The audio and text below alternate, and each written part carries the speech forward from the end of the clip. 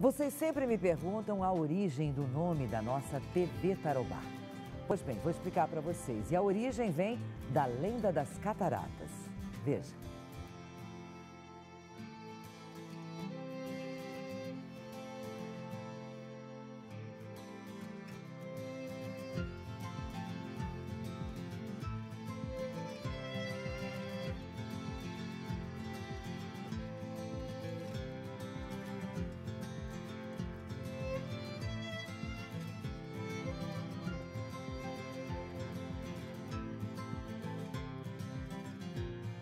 O cenário é o Rio Iguaçu e essa é a lenda das cataratas.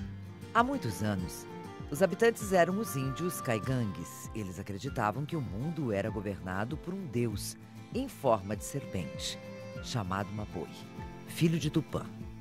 O cacique da tribo tinha uma filha, linda, mas tão linda, que as águas do rio paravam quando a bela Naipi nelas mirava sua beleza.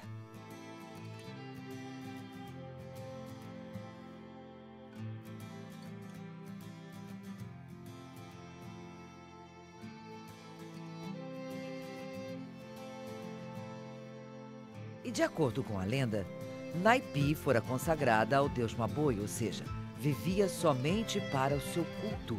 Havia sido prometida a ele. Entre os caigangues, um jovem guerreiro chamado Tarobá se apaixonou por Naipi.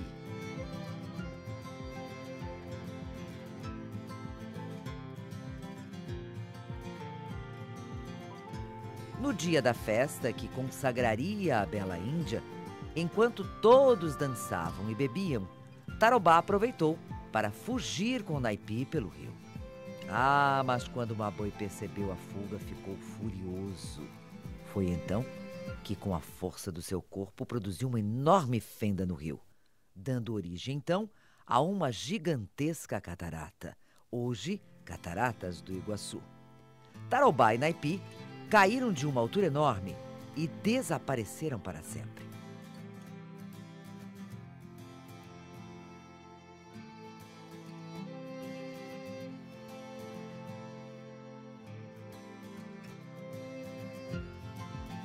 Diz a lenda que Naipi foi transformada em uma das rochas centrais das cataratas, onde para sempre seria castigada pelas águas revoltas, enquanto Tarobá foi transformado em uma palmeira à beira do abismo.